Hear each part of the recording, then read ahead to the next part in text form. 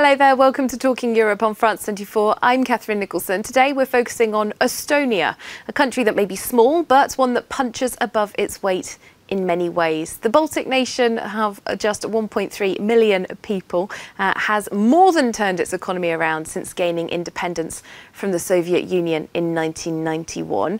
Since joining the European Union and NATO at the same time in 2004, Estonians have consistently scored among the more Euro-friendly EU members and Estonia is seen as one of the most successful of the bloc's newest members on the economic front. I'm very pleased to speak today to Estonia's President, Kersti Kaljulaid, who's just passed the baton of the EU presidency to Bulgaria and who is also about to kick off a year-long party of sorts to celebrate 100 years since Estonia became an independent republic. President Kaljulaid, thank you very much for being with us. Hello. Hi there. Now, um, let's start on that celebratory note. It has been a, a tumultuous century for Estonia. Uh, annexation by the USSR, German invasion during World War II, back under Soviet rule until 1991, and then, as I said, entry into the EU and later and NATO just 2004. How would you characterise your country, Estonia, on its 100th birthday?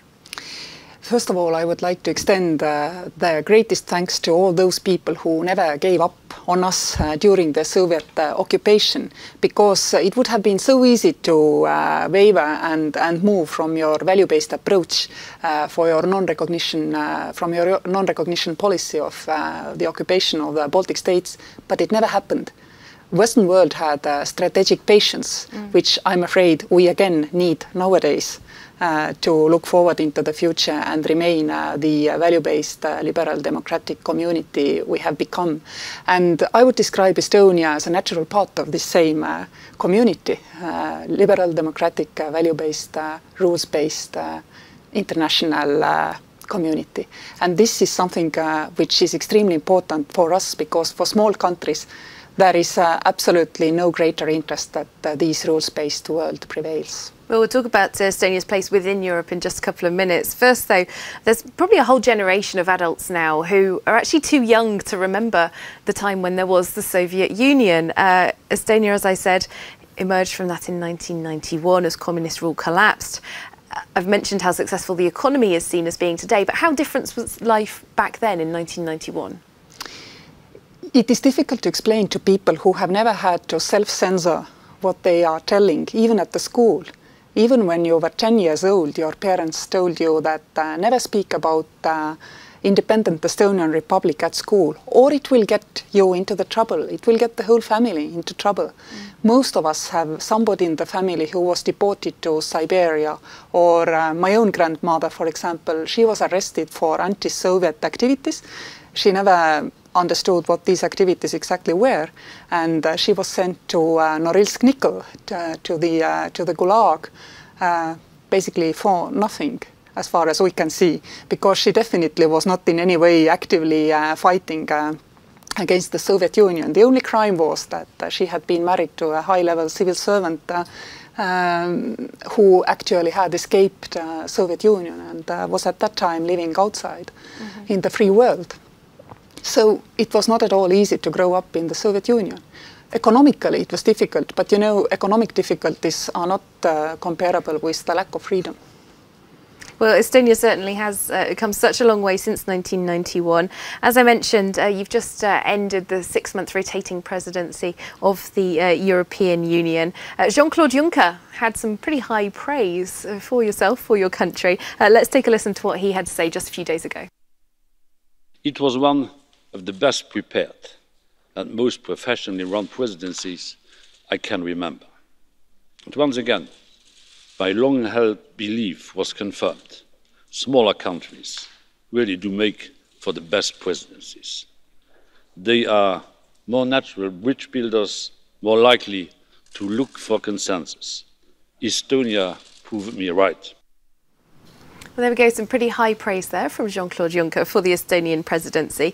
Uh, smaller countries in Europe perhaps are often overlooked as the big member states, the older, longer standing member states like France and Germany dominate in so many ways. Do you feel drowned out? Definitely not. I don't know any international cooperation forum where small countries are better, yeah, better uh, positioned than in the European Union, where basically everybody has the equal say uh, and your size does not matter.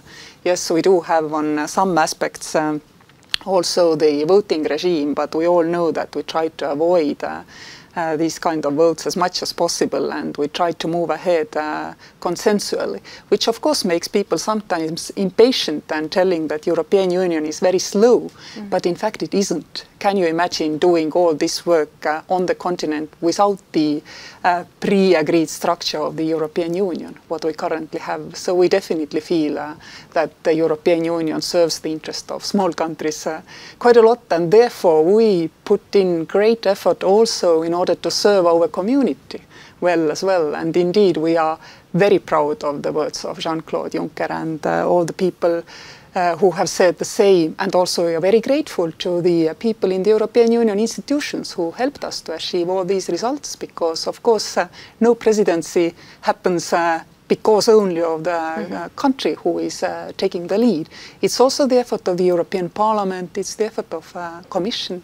Everybody was very much hands-on, very much in and very much helping us with our first time presidency. Well, one of the uh, gifts, perhaps, that Estonia has given to the European Union is a bit more of a focus on the digital economy, really looking forward to some uh, cutting edge uh, innovations. Uh, the Prime Minister of Estonia spoke to the European Parliament about that issue as well. We can take a listen to him.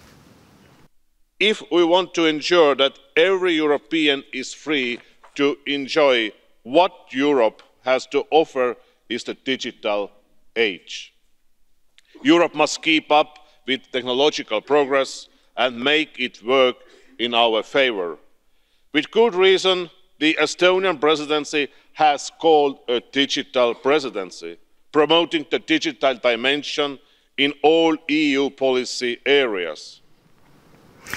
So this digital economy that's been such a big focus for Estonia, we're always talking about how futuristic Estonia is. Uh, what is the digital economy? Why is it so important? Frankly, what is so futuristic about doing the same in the public sector, which private sectors in all countries do anyway? The thing is quite simple. Your people and your businesses are also in the internet, mm. as are our people in Estonia. But our government realized that um, we need to be there together with our people and our businesses. And uh, we realized this at the turn of the century. So we have a single platform of uh, operation. And this platform uh, gives uh, us identification. And this is something which is very important that you need to provide people with certain level of security in the cybersphere. Mm. And uh, the main problem right now is that uh, Estonian speaking to another Estonian online identifies each other. Mm -hmm. Therefore, we're able to know with whom we are talking and with whom we, we are signing documents, like you do in the real life. Well, as we do live increasingly in a digital world, uh, there is a lot of debate about cyber security.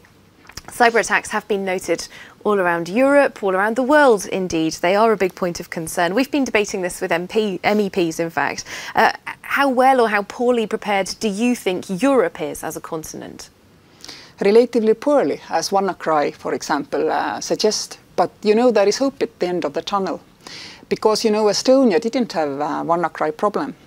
Simply because our people have learned over the long process of becoming a digital society to uh, be hygienic in the cybersphere. So I like to call passwords it, and absolutely. Mm. I like to call it cyber hygiene rather than cyber defense because it's uh, it uh, actually uh, is about civil society, about mm. people. Technology will never make cybersphere safe. It will always be about people, and we need to teach people hygiene. Similarly, as we taught people that they need to wash hands to make sure that the uh, viruses and bacteria cannot, uh, cannot be distributed uh, among the populations.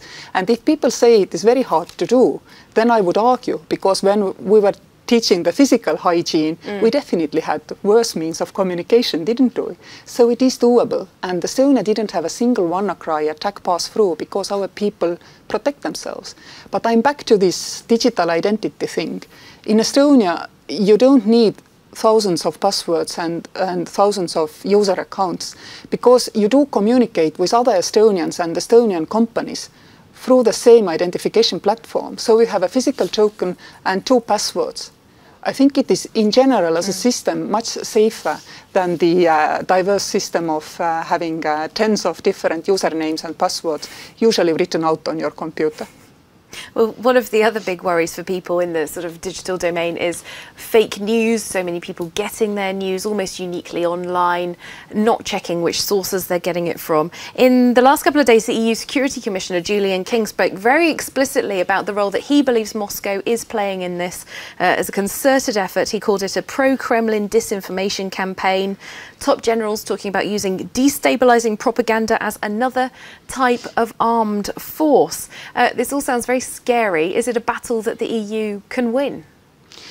It is a battle we can win, and uh, I think uh, Julian King is uh, winning this battle by making it public, by drawing attention to the fact that this is going on. Again, there is nothing better than open discussion and open information about what is going on. And the problem is actually wider because the uh, price of information is almost zero, but its value is turning uh, almost negative sometimes we need to learn all to check our facts like previously the journalists did to us or for us. Right now we need ourselves to be our own uh, fact-checking um, uh, well responsibility agent. There is no other way we can uh, we can make sure that uh, we are protected. And again, this comes down to talking openly about the problem because there is absolutely no other tool. We cannot go restricting accesses. We cannot go restricting certain sites or channels of information. This would not take us nowhere. We absolutely need to just uh, tell our people, not everything you hear, not mm. everything you read is true. And this relates to everything, political information and health information online, for example. You need to know that what you are reading may not be true. In terms of potential threats from Russia, Estonia is literally on the front line. You have a, a border with Russia. Uh, there have been tensions between Estonia and Russia. There's an outstanding issue over uh, the, the border agreement that Russia's yet to ratify.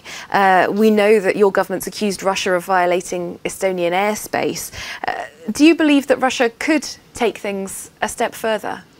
First of all, uh, as we were just talking about the new risks, cyber and hybrid risks, they are geography neutral, as also uh, Julian King uh, demonstrated yesterday.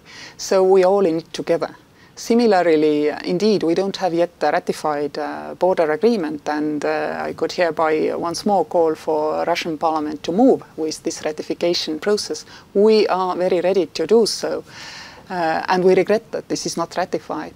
But we do not have uh, particular tensions relating to Estonia or between Estonia and Russia. Our problems are the same problems as everybody in Europe has, the unpredictability, the uh, non-respect of its own signature under international contracts by Russia, Crimea, Georgian war. All these problems are common to us and uh, it's not so important that we also share a border with Russia.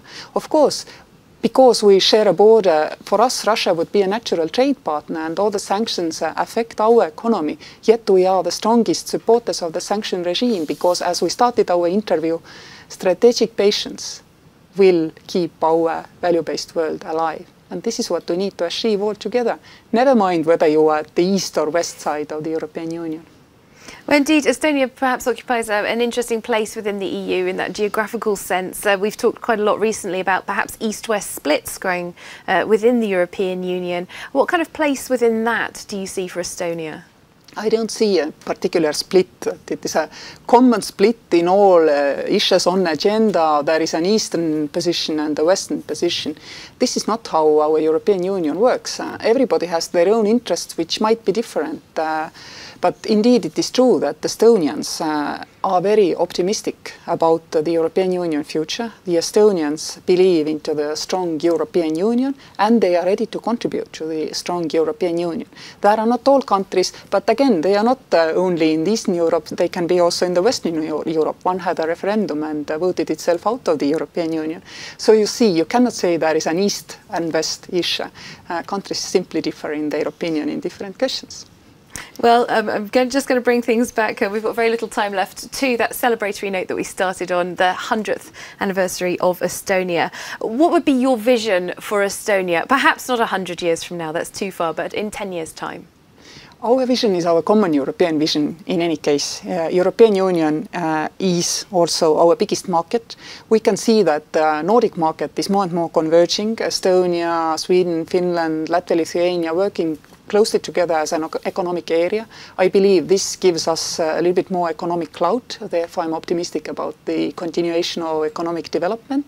But above all, there is no economic development without stability and security. And we are extremely happy that uh, all our partner, partners and allies see uh, our future together in the same way. And also they come from the same uh, analysis uh, point as, as we do. Therefore, we are optimistic about uh, the future of our continent.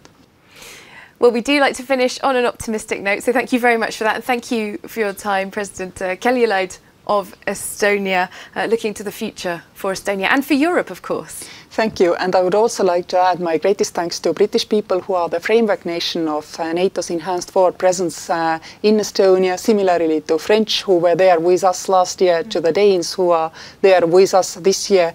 And uh, Estonian people have also made uh, quite some effort to be a good host nation.